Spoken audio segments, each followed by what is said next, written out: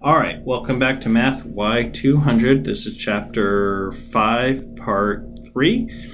Hope I get that right. It's hard to remember. All right, um, we were talking about colors and all the design properties. Again, this chapter is heavily about design and it's kind of a little bit abstract, but it's still worthwhile. Very, very, very worthwhile. It's entirely unacceptable to design a web page without design. Um, kind of doesn't make sense either. Um, when you're using graphics and other multimedia in your page uh, or site, keep in mind the file size, which is usually related to dimensions of the image or video or whatever. That makes a big difference. File size matters. Even these days with high-speed internet, file size matter. If your website is too big, web yeah, is web is too big, it's frustrating for the user and you'll lose them. And you don't want that. That's the whole point of designing web pages so that other people will look at them, right? Um, have good navigation. Um, we'll talk about anti-alias versus alias text. Um, and alt text we've talked about a lot, but we'll get into that again more. And don't have extraneous multimedia. Don't be, go crazy with this. So um, again, file size don't get crazy with this. Keep your, your website entirely. All the files, all the images, all the HTML, all the CSS, everything, which HTML, CSS is pretty small in uh, consideration. All of that should be no more than a meg or two or three megs big because if you're on a mobile device and you're trying to download all that stuff, it makes a big difference. If you're on a low speed internet, it makes a big difference. Even if you're on high speed internet, it can be really annoying to go to a page and it just has all this flashy bells and whistles and you just want the content. You don't want to be distracted by that. You don't want to wait for that to be downloaded either. So um, always use Alt when you're using um, uh, um, images or even movies don't embed movies, please. Um, don't embed music either. Please, please don't have a web page that comes up and plays music. That's terrible design. It's annoying. I like music. I like hearing things, but that's annoying. Um, uh, animation is also right out. Just, just don't do it unless you really have to. But don't um, and again, most of the time you can avoid animation just by not and doing it. Uh, a lot of times you have to explicitly go out of your way to do, set up animation, but just just get out of there. Just don't do it. Um,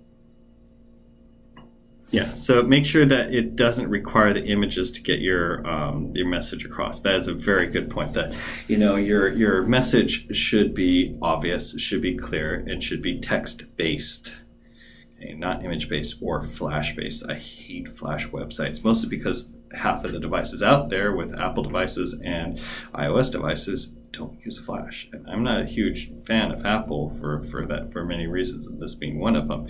But the fact that it doesn't use flash and the fact that some websites use flash and they're terrible it makes just don't do flash. We don't IO United teaching you that. So um, so uh, again, there's no color requirements for choices, but you want to make sure that your web palette is nice. Uh, it, it's nice to choose from palettes that are available on older Macs and PCs, but frankly, it's not so much important these days because you can basically assume almost any modern or even semi-modern computer has millions of colors available to it.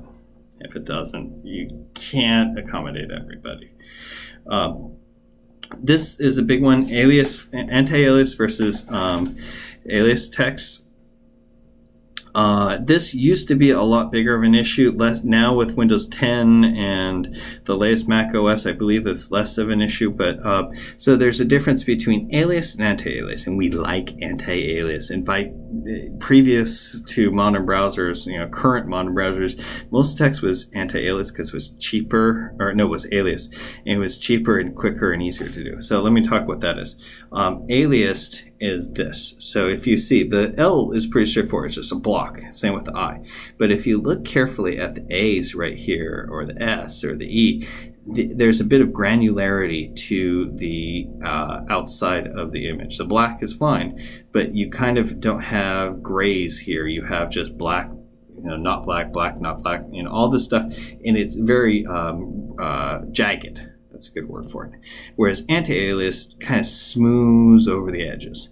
There's reasons in old typesetting about the difference between why it's called alias and anti-alias. I'm not going to go into all that stuff. It's not important you can actually set, again, this has not been common on previous browsers, and I believe more modern browsers have this and show it in alias because um, it used to be the default for any web, for any computer in Windows Windows XP for sure wasn't a default by it. it could do anti-alias, but it didn't default to it. I believe Windows 7 and on uh, by default you set alias or set it to anti-alias instead of alias for everything. Um, so most of the time you don't have to specify that, but if you do have to specify it per browser, this is how you do it because again, this is not generally commonly uh, uh, set up in HTML5.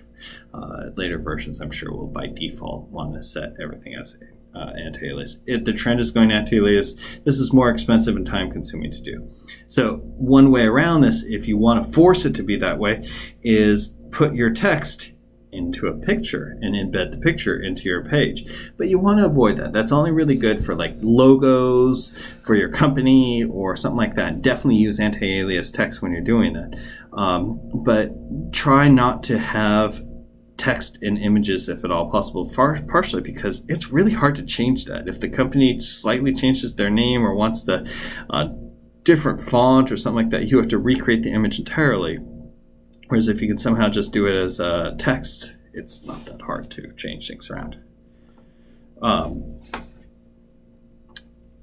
when you're using images you know be con- don't don't throw everything out there you don't when you're designing a page keep it simple. Uh, that that's what it comes down to. Um, small images, reuse images, and don't be extraneous with all of extra, you know, crazy images that you don't need.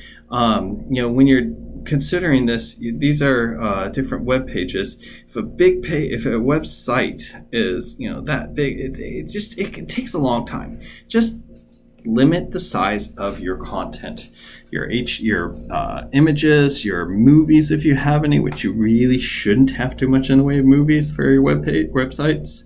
Um, any other associated media, keep it simple. Under 60k for the first page, under 60k for the next page, and so on and so on, and a total of no more than a couple megs. Okay, 60k is 60,000 Three megs is three million bytes, and these, you know, 60k uh, 1000k is a, a, approximately a megabyte. So, you know, a couple pages should be no more than it takes for a website or for, for up to three megs. So just keep it simple, keep it small.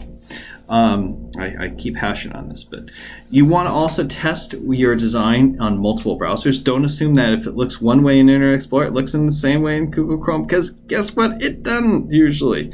And you might have to slightly modify and, and be able to, uh, uh, you know, make it look good in all things. Um, Safari, Chrome, Internet Explorer, those are the main ones out there. Firefox is less so, but it's still used very commonly.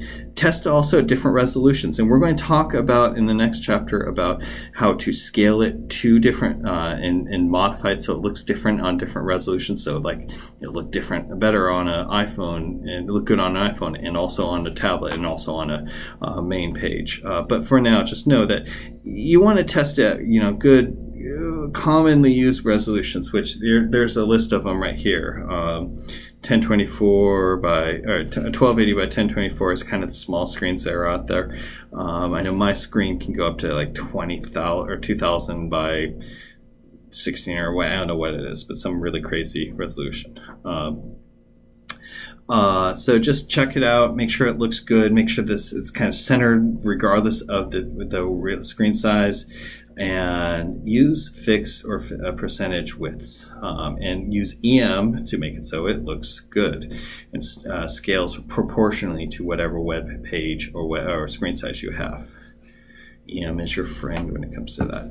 Um, make it so it's obvious and easy to navigate. Um, make it so this again goes to basic design principles. Um, uh, have an obvious place for the navigation, and you can do it multiple times. It's not uncommon. Have a top and a bottom, or a side and a bottom, or a top and a side. There's nothing wrong with that, and usually they will look significantly different, and that's okay.